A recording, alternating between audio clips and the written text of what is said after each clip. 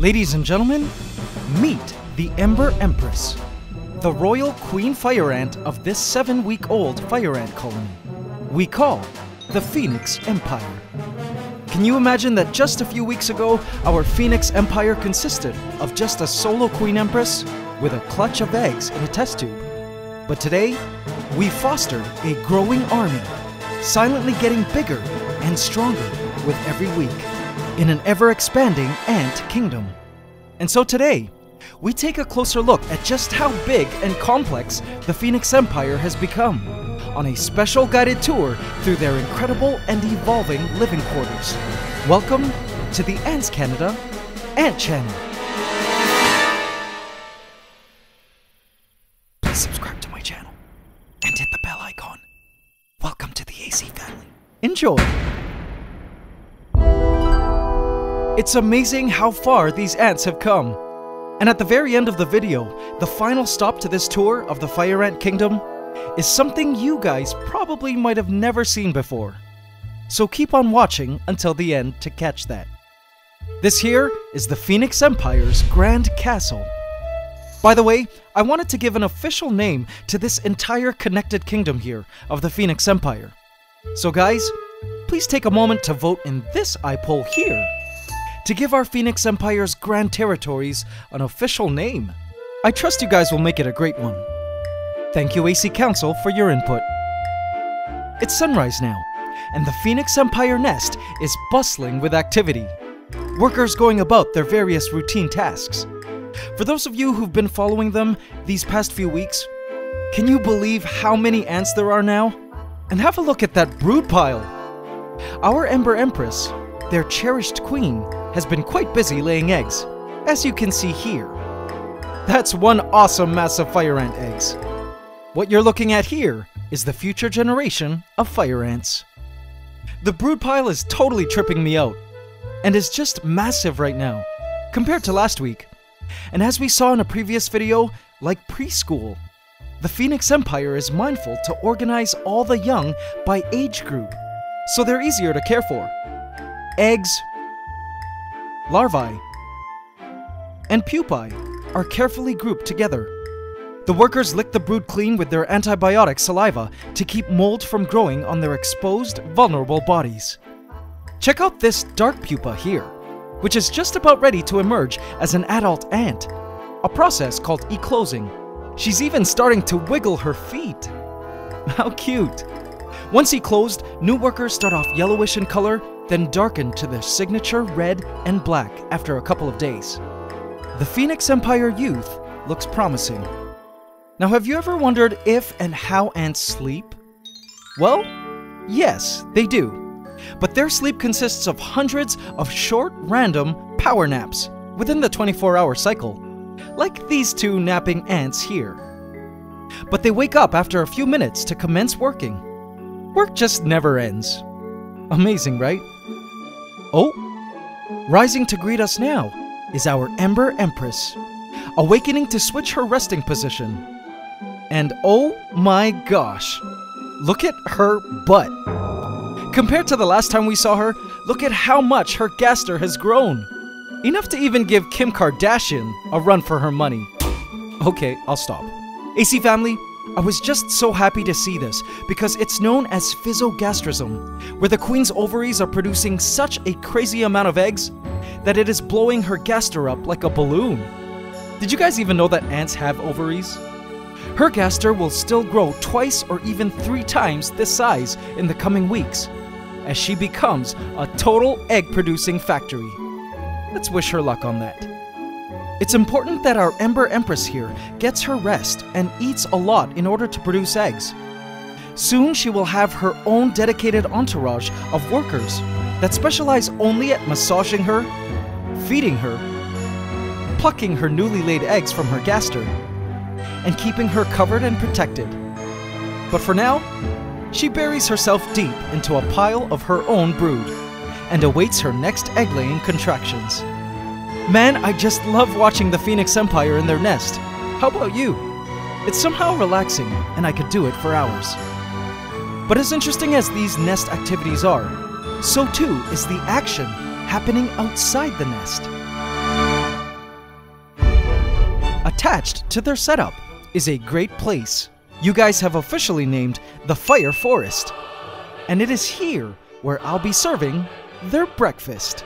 On today's menu, the ants will be feasting on a freshly chopped up superworm on a bed of leaf. And it also happens to be the biggest meal they've ever had. Let's watch. The Phoenix Empire sends out one of the workers to venture out into the fire forest. She smells something interesting and new within the territories. She wanders out onto fire forest grounds and uses her antennae to smell around and locate what she's looking for. It wasn't long before she finally discovered our culinary preparations, gives it a sniff, and runs back to the nest, leaving a pheromone trail to inform the rest of the colony of the gourmet superworm steaks she found, and call for backup to help with consumption. A few minutes later, the ants feast, fill up their social stomachs, and are back at the nest, feeding the rest of the colony via trophallaxis, regurgitating the predigested superworm meat into each other's mouths including the larvae and the queen. But meat isn't all they eat. Some workers periodically visit the special test tube which holds their sweet brown sugar water supply. We first provided them last week. And they too bring their sugar water collections back to the nest. Now, guys, this is something new that I'm sure you'll love. Check this out. Look at how filled up and stretched some of the workers' gasters are as they each carry large quantities of food in their bodies. Interestingly enough, these specialized fattened up workers, who have taken up the role of living food transporters, are known as the repletes. They're basically walking ant fridges, I suppose, and are new to the Phoenix Empire. I've been waiting for the repletes to appear. The repletes differ from other worker ants because they do nothing but stay at home and store the colony's food saved in their sterile social stomachs, and regurgitate the contents to feed the other colony members as needed. Their larger bodies make it too risky for them to leave the nest as they become easier targets for predators. So they just stay at home and are fattened up by worker ants returning from a meal outside. If I were a member of the Phoenix Empire, I think this job description suits me best. The workers make sure these repletes are amply fed so they can ensure the colony has a constant, uninterrupted supply of food. So colony growth rate isn't slowed down during periods when food becomes harder to find. But guys, repletes aren't all. Some of these fattened up workers are known as aquapletes, workers that only store the colony's water. And check this out the colony has been extra diligent at collecting water from their water station, as evidenced by the bubbles in their water test tube, and stuffing some of the workers, those choosing to be aquapletes, with this fresh water, because the colony is currently undergoing somewhat of a water shortage crisis. The colony's water supply is running low. Soon their cotton wall, which used to provide the colony with their water and humidity, will run completely dry. But don't worry, once it does, the colony will pick up and move into their full water test tube. It won't be much longer before one of the ants comes up with the brilliant idea to make their full water test tube neighboring their nest their new nest. We'll find them all, brood, workers, and the queen, nesting in the new test tube one day soon. Another thing you might notice is some of the ants have decided to interior decorate. They've carried grains of sand into their test tube portal and even into the entrance of their nest test tube. It's interesting to see that as the colony grows, their activities become more and more diverse and interesting. But guys, as promised at the start of this video, now it's time to show you the final location of the Phoenix Empire's kingdom, which I discovered held a secret that moved me inside. Behold, the Phoenix Empire's garbage and bathroom area within their test tube portal. Upon closer inspection, what I saw surprised me, then made me sad. Do you see it? It's a dead worker.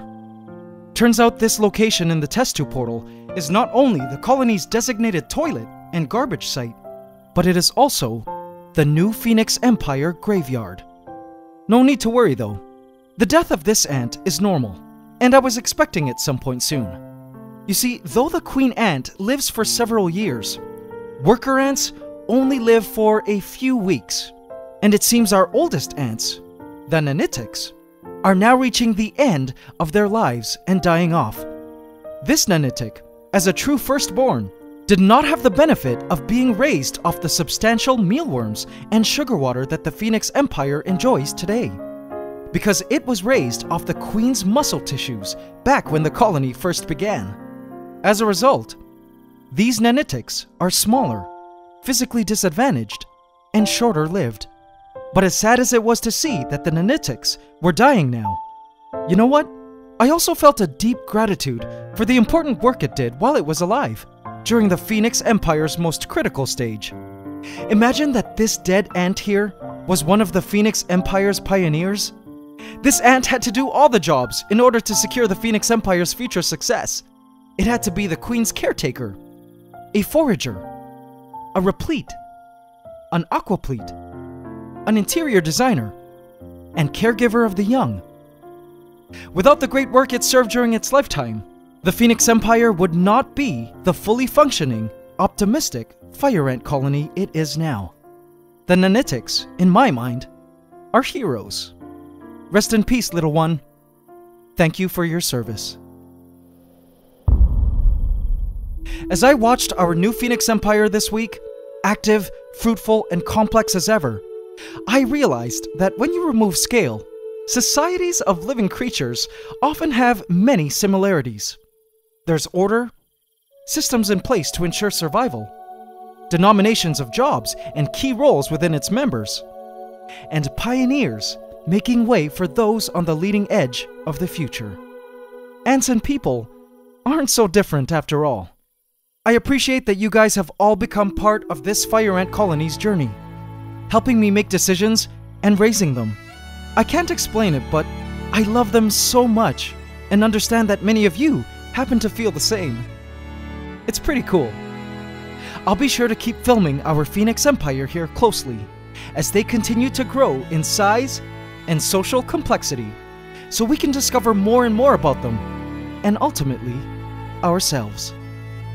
Thank you for watching and supporting the ants. I'll see you guys again next week. It's Ant Love forever. AC family, our Phoenix Empire is evolving so much, wouldn't you say? A lot is in store ahead, so if you haven't yet, smash that subscribe button and bell icon now. And hit all so you get notified at every upload. Because I believe notifications seem to be broken, but the YouTube support team is on it. Also, don't forget to hit the like button every single time, including now. It would really mean a lot to me. Thank you guys. AC Inner Colony, I have left a hidden cookie for you here if you would like to see the absolutely shocking and awesome discovery I made this week in the ant room. Someone laid eggs. Go see who. Just a quick announcement if you wanted to get into ant keeping, use the coupon code ANTLOVEFOREVER to get 10% off all ant farms and equipment at antscanada.com. Promo ends March 1st, so get your ant keeping gear at antscanada.com now. And now it's time for the AC question of the week. Last week we asked, why did the ant park need to be minimally decorated and kept dry? Congratulations to Jackia Bruns, who answered, It was to make sure the Phoenix Empire wouldn't nest in the ant park. Congratulations, Jackia, you just won a free Ultimate Ant Keeping Handbook from our shop. In this week's AC Question of the Week, we ask, Name one thing you love about the Phoenix Empire's way of life. Leave your answer in the comment section, and you could also win a free ebook handbook from our shop. Hope you can subscribe to the channel as we upload every Saturday at 8 a.m. Eastern Standard Time. Please remember to like, comment, share, and subscribe if you enjoyed this video to help us keep making more. It's Ant Love forever.